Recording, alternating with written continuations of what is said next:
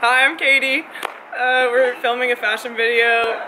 This awesome guy just found us and he asked us to help him out, so that's what we're gonna do.